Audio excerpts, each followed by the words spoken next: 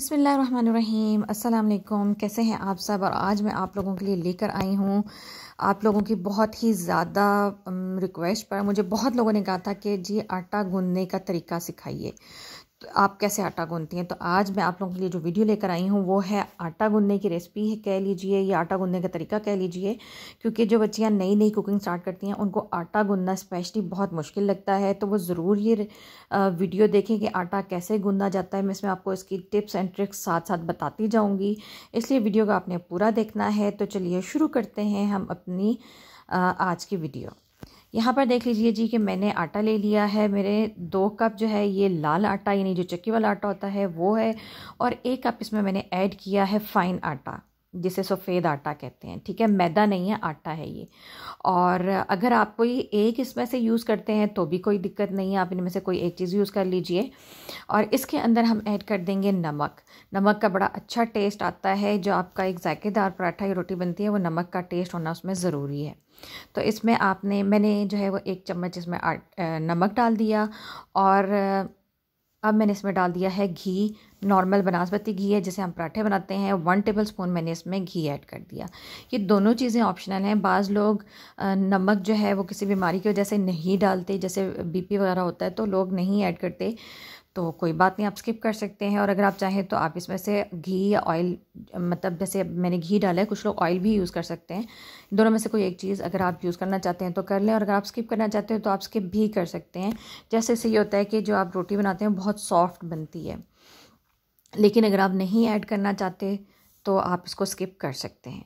अच्छा जी, इसके बाद ये है कि एक तो आपने बिस्मिल्लाह पढ़ के शुरू करना है, आटा गूंदना हमेशा। और दूसरा ये है कि आपने बिल्कुल जो है वो थोड़ा थोड़ा सा पानी इसमें ऐड करते जाना है।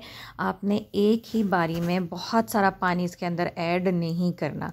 बिल्कुल थोड़ा थोड़ा पानी डालना है और आटे को थोड़ा थोड़ा करके आपने मिक्स करते जाना है, जैसे कि मैं कर रही हूँ, ठीक है? अच्छे से मिक्स करना है, क्योंकि अगर आप एकदम से ज़्यादा पानी डाल देंगे ना तो जो आटा है वो बिल्कुल एकदम से पतला हो जाएगा।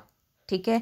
और अगर आप आटा गूंदते हुए एहतियात नहीं करेंगे तो बाज़ात ये होता है कि थोड़ा हम बहुत ही स्लो गूंद रहे होते हैं थोड़ा थोड़ा गूंद रहे होते हैं तो उसमें ये होता है कि जो आटा हम मिक्स कर रहे होते हैं, उसको साइड पे करते जाते हैं तो वो ऐसी गुठलियाँ बनती जाती हैं, सख्त होता जाता है।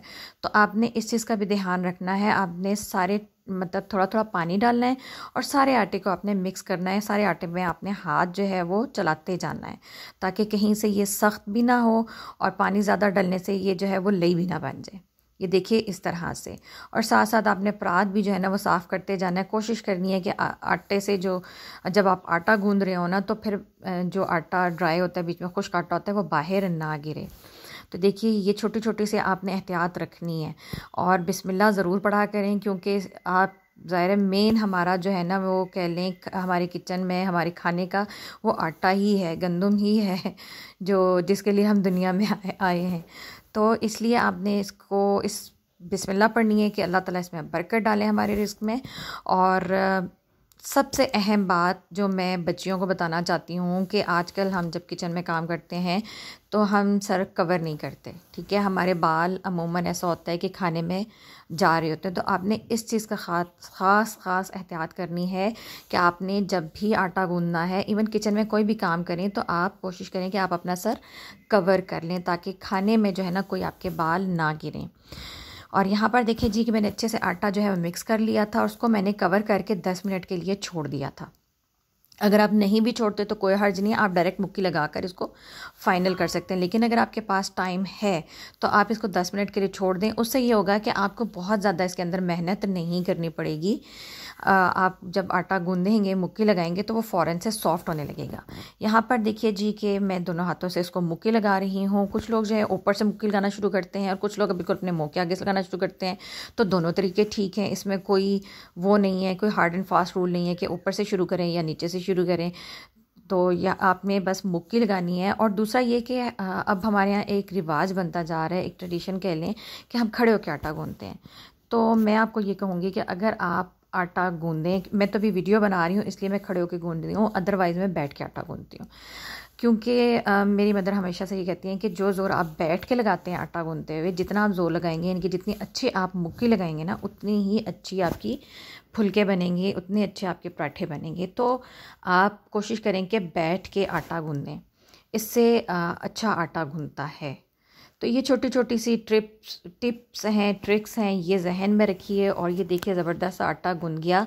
कोई मुश्किल पेश नहीं आई। शुरू शुरू में मुश्किल लगता है, लेकिन आहिस्ता आहिस्ता आपको इसमें जो है ना, वो महारत हासिल हो जाती है। तो ये देखिए जी, ज़बरदस्त आटा जो है, वो घुन चुका है और इसको मैं दस मिनट के लिए छोड़ दूँगी, कवर करके रख दूँगी तो उससे इस ताज़े आटे से फिर मैं रोटियाँ बना सकती हूँ। और इसके बाद मैं इस आटे को जो है वो फ़ूड कंटेनर में मैं डाल के रख लूँगी। कोई भी डब्बा जिसमें आप आटा घर में नॉर्मली रखते हैं, आप उसमें डाल के इसको अगर आप फ्रिज में रखना चाहते हैं तो आप फ्रिज में रख लीजिए। और अगर आप गर्मियों में तो बिल्कुल भी आटा बाहर ना रखें, आटा खमीर हो जाता है। और आटे को ख़मीर होने से बचाने के लिए आप इसके ऊपर एक लेयर हल्का सा हाथ पे आप घी लगा के इसके ऊपर एक लेयर लगा दीजिए तो आटा जल्दी ख़मीरा नहीं होगा। तो उम्मीद करती हूँ कि आपको हमारी आज की जो वीडियो है पसंद आई होगी। इजाज़त दीजिए। अस्सलाम वालेकुम रहमतुल्लाहि व